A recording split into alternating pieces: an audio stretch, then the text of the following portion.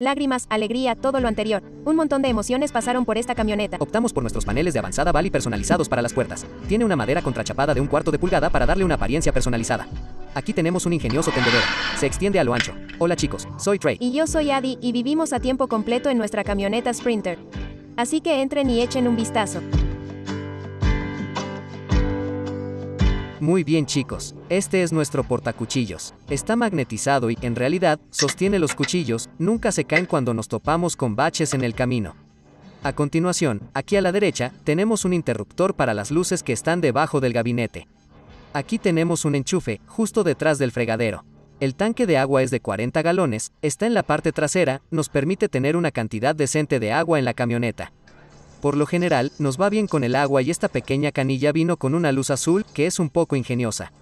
No sé por qué es azul, pero... Me pareció que era un complemento genial. Luego, tenemos un filtro de agua de 6 etapas debajo del fregadero que nos permite tener agua potable y segura para cuando cargamos agua del grifo en la ciudad. Esta encimera es de madera laminada, la compramos en Home Depot. Era una sola pieza y al final, aquí, tenemos una pieza móvil que se puede abrir para extender el espacio de la encimera. Luego, tenemos inducción, tenemos una estufa de inducción de dos quemadores. Ojalá hubiéramos elegido una estufa a gas. El consumo de energía es mucho, especialmente cuando usamos los dos quemadores al mismo tiempo. Por lo que desearíamos haber elegido gas. Debajo del fregadero tenemos un gabinete que alberga todos nuestros artículos de limpieza, también tenemos el filtro de agua y nuestras toallas y toallas de papel. En nuestro primer cajón de aquí, tenemos todos nuestros utensilios de suministros de café, botellas y otras cosas por el estilo. Debajo de eso tenemos una despensa de alimentos, en la que entran un montón de cosas al azar. Aquí tenemos productos enlatados y todo tipo de alimentos. A continuación, tenemos la nevera Isotherm. Es realmente espaciosa para ser una nevera para una furgoneta, estamos muy satisfechos con ella. Funciona con alimentación de K y de CC, y ahora está funcionando con alimentación de CC, por lo que no tenemos que usar el Inversor. Antes de esto vivíamos en Nashville. Los dos éramos entrenadores de CrossFit a tiempo completo y ninguno de los dos tuvo que convencer al otro de vivir en una furgoneta, así que, eso fue una gran ventaja. Ambos sabíamos que queríamos viajar y pensamos por qué no ahora, antes de tener una familia, de ser dueños de una casa o de tener algo que nos atara definitivamente a Nashville. De hecho, yo era entrenador de CrossFit a tiempo parcial y también trabajaba a tiempo completo para hacer TikToks durante los últimos dos años, mientras construía esta furgoneta en nuestro estacionamiento. Así que, tenía trabajo a tiempo completo como entrenador a tiempo parcial y también tratando de construir esto lo más rápido posible. La construcción nos llevó dos años y, esencialmente, usando solo herramientas manuales.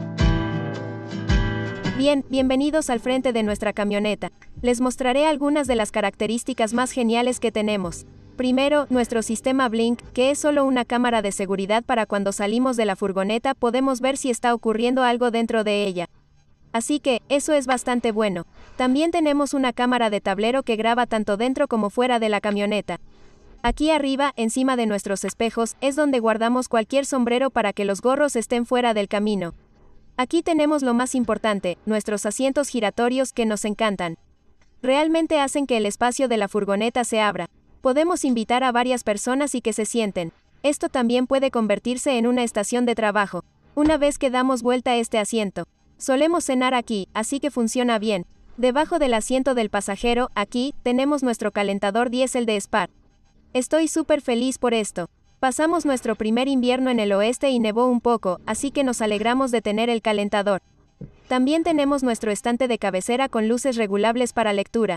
Estoy feliz de tener esas luces instaladas. Y luego aquí arriba solo guardamos algunas de nuestras cubiertas para las ventanas y algo de ropa. Muy bien, esta es nuestra estación de trabajo comedor. Esto era parte de la encimera de una pieza de la cocina. Gira para donde quieras, así que tal vez si estás comiendo solo puedes hacerlo aquí. Además, este monitor puede girar para que disfrutes de una agradable noche de cine. Aquí es donde paso mucho tiempo trabajando. También tenemos una pequeña canasta de frutas aquí. Trey se golpea la cabeza, pero yo no. Aquí tenemos una pequeña estantería, un pequeño rincón para poner algunos cuadernos, libros y cosas así. Tenemos luz debajo del gabinete, aquí, para el trabajo nocturno. Y, luego, debajo de nuestro asiento tenemos almacenamiento. Aquí guardamos elementos de cocina, algunos utensilios, bolsitas, cosas por el estilo. Y luego, en estos gabinetes superiores, tenemos ropa, tenemos estas pequeñas bolsas de almacenamiento de ropa, son súper eficientes. Evita que la ropa se desparrame por todas partes por lo que puedes meter un montón de ropa aquí y, luego, encajan perfectamente allí. También tenemos nuestro ventilador Max Air. De hecho, tenemos dos, uno en la parte delantera y otro en la parte trasera para tratar de que el aire circule. Creo que estamos contentos de haber hecho la construcción nosotros mismos. Eso generó un montón de recuerdos, tanto buenos como malos. Lágrimas, alegría, todo lo anterior, un montón de emociones pasaron por esta furgoneta.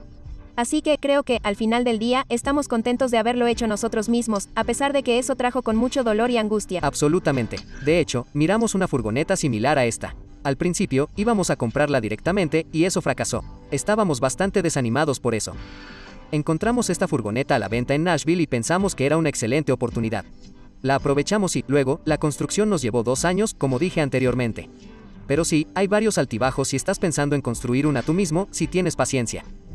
Conocimiento general del uso de las herramientas, YouTube es tu mejor amigo. Hay varios constructores y a todos los que nos han precedido. Muchas gracias por todos sus videos de YouTube, sin duda, ayudaron mucho. Bien, aquí tenemos nuestra ducha completa. Este es un tablero de plástico reforzado. Instalarlo fue un fastidio, pero la uso mucho. En comparación con Adi, la uso mucho más. Entonces, comenzando en la parte superior, tenemos un interruptor aquí atrás para encender la luz. Dentro de la ducha tenemos gel de baño, champú, nuestro pequeño ayudante para que no haya un montón de botellas sacudiéndose en la ducha cuando estamos conduciendo. También tenemos un pequeño tendedero ingenioso, se extiende a lo ancho. Podemos colgar cualquier cosa que esté mojada y que necesite secarse, justo aquí en la parte superior. Hay un par de ganchos en los que colgamos abrigos y por lo general, en la vida en una furgoneta, esto se convierte en un área de almacenamiento cuando estás de viaje.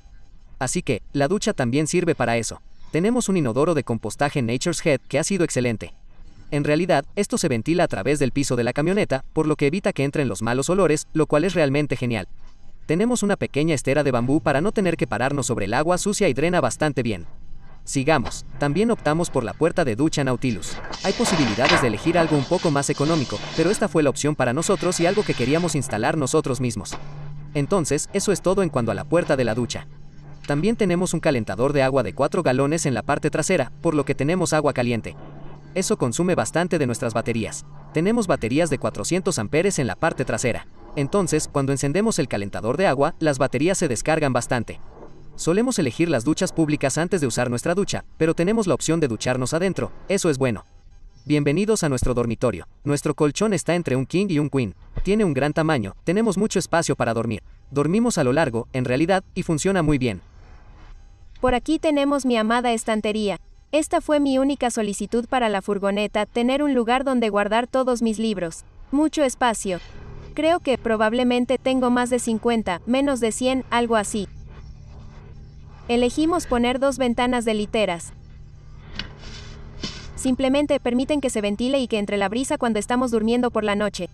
Nos gusta estar frescos para dormir. También tenemos otro ventilador Maxer aquí, sobre la cama.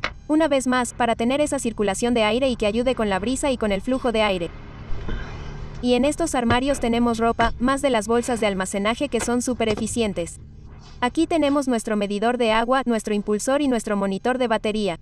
Y aquí atrás tenemos algunos interruptores para tener presión de agua de drenaje, encender bomba de agua, las luces exteriores. Esos están todos encendidos aquí. Cada uno de nosotros tiene una pequeña luz de lectura aquí y eso es todo en nuestra habitación. Así que ahora vamos a echar un vistazo al garaje. Bien, hemos estado en el camino durante tres meses.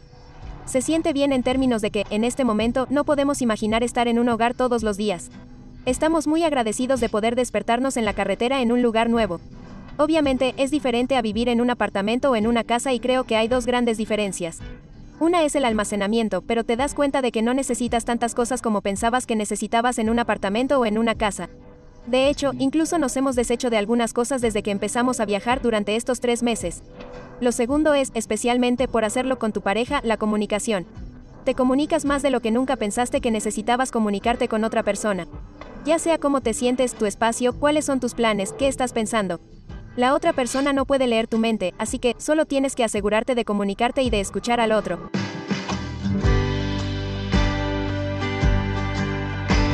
Hola chicos, bienvenidos al garaje. Lo primero es lo primero. Equilibramos la camioneta, la parte trasera de la camioneta, con los componentes eléctricos de este lado y con el tanque de agua de este otro. Todos los componentes para el sistema de agua están en este gabinete de aquí, por lo que se crea un equilibrio en cuanto a la relación de peso. Dentro de la camioneta solo tenemos solo lo más necesario. Tenemos equipos de gimnasia, colchonetas de yoga, equipo de cámara y aquí es donde también guardamos nuestra ropa sucia. Tenemos patinetas y todo nuestro equipo divertido. Eso también está por aquí escondido en lugares aleatorios. Para las puertas, elegimos los viejos paneles tácticos personalizados. Esta es una madera contrachapada de un cuarto de pulgada para darle una apariencia personalizada y luego podemos colocarle distintas cosas. Por ejemplo, aquí tengo mi juego de herramientas que se despliega así. Aquí tengo diferentes herramientas, una pala, una hamaca heno. Y aquí arriba tenemos unos binoculares y una cubierta de heno también. En cuanto a las modificaciones exteriores tenemos, en la parte de atrás, teníamos el portador de neumáticos de búho, así que sacamos el neumático de repuesto de debajo de la camioneta para usar ese espacio para las aguas grises y este es nuestro repuesto. A veces también necesitamos agua extra y combustible extra, por eso, tenemos el accesorio Rock Slide que sostiene los soportes de nuestros bidones. En realidad, no tenemos una ruta planificada o un cronograma en términos de cuánto tiempo estaremos en el camino o hacia dónde nos dirigimos a continuación. Creo que eso es parte de la belleza de esto. Realmente no se puede planificar para lo incognoscible. Solo llegado el momento, hablaremos sobre a dónde queremos ir a continuación. Nos sentaremos y miraremos un mapa y decidiremos cómo y cuándo queremos llegar. Hemos disfrutado mucho el no tener un plan. No nos ha estresado en absoluto. Se siente liberador. Entonces, en un futuro imprevisible, estaremos en el camino. Sí, es cierto. Puedes seguirnos en YouTube, también en Instagram. Somos Stay Human Project, te lo agradecemos. Gracias Tiny Home Tours por visitar nuestro espacio. Nos vemos en el camino.